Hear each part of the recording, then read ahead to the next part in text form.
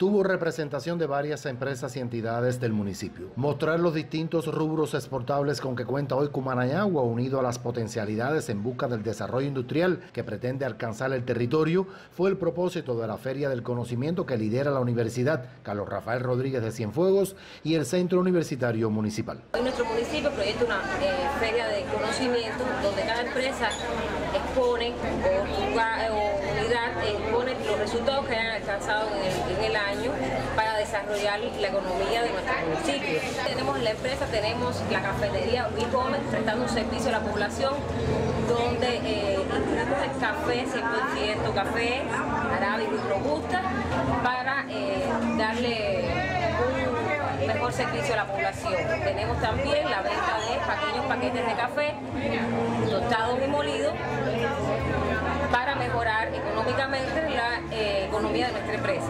En la cita se mostró además otros programas con resultados en la municipalidad, tal es el caso del avance en cuanto a la apicultura y las potencialidades de Cumanayagua para su desarrollo, unido a otras alternativas que implementan aquí.